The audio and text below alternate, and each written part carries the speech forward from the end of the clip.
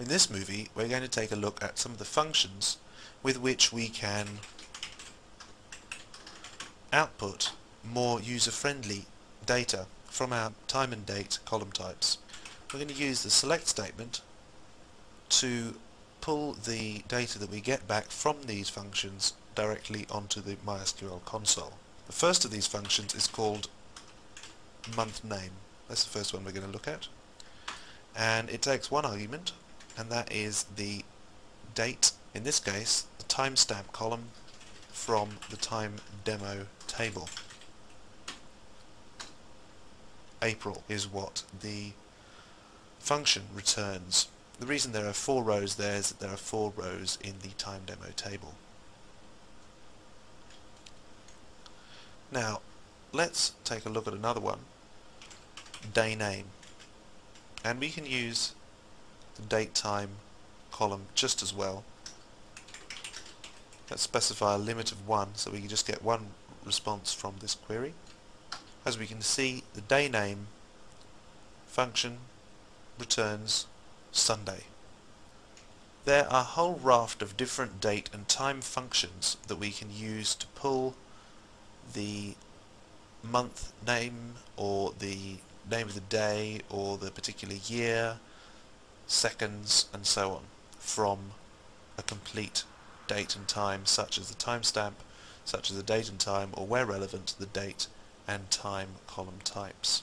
However,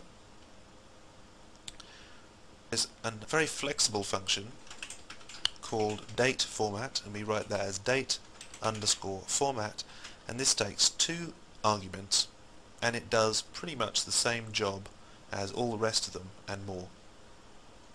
Let's take a look at the way it works. The syntax is slightly more complicated. For the first argument we put in the name of the column where we're going to find the date and time in the first place. The second argument is a string between two inverted commas and that is going to take whatever we want.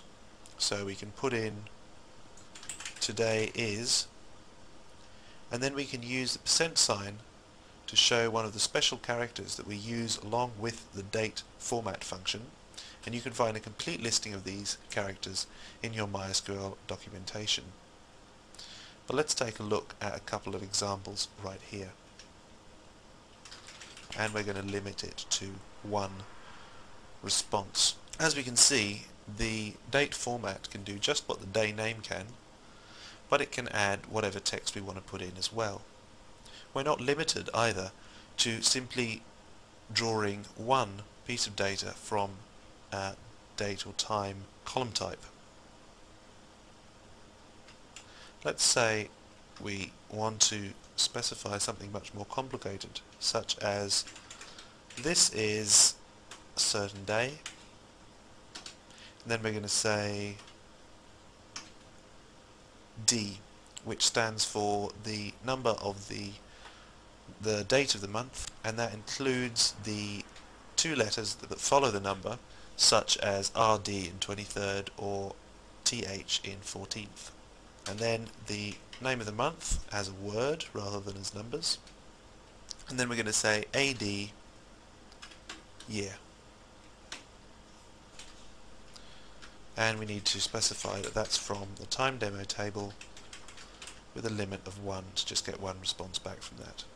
As we can see this very concise syntax allows us to pull a very specifically formatted sentence from our timestamp column. So this is a very quick way of outputting a more user-friendly way of expressing the date and time than simply a string of numbers. Once again, for a complete list of these codes that we use within the date underscore format function, have a look in your MySQL documentation.